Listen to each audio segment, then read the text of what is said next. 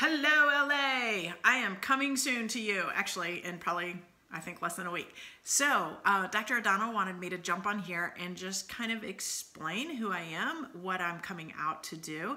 And my name is Dr. Jessica, and I am a chiropractor in Birmingham, Alabama. And within the last five years, I've gotten an incredible opportunity to kind of teach my method of healing, which is looking at nutritional work, structural work, um, environmental work, and emotional work, and kind of looking at those as the pillars that make your table of life. And if your table is strong because each of those pillars are strong, then there's not much that can knock you out.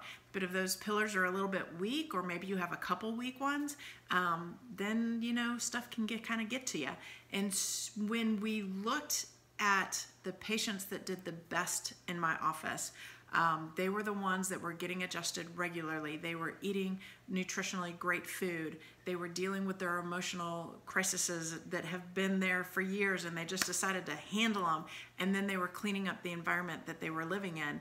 And we were seeing incredible changes in all sorts of avenues for them. And so I really got excited about getting out and teaching these items and the one that I was kind of the weakest on was the emotional. We would get it, but it would take us months. And a friend of mine introduced me to Young Living Oils, and I was having some challenges with my third child in this emotional avenue of sleep and rest and thought processes. And it was life changing for us very, very quickly. So, since I am a researcher, I dived in deep to find out why, and I saw how the oils could actually control and relax the processes of the brain because smell is a stress process, and you smell, you instantly go heightened fear or you can relax into healing. And so, by using this method, we can actually start shifting the emotional responses of the body. So, that was huge.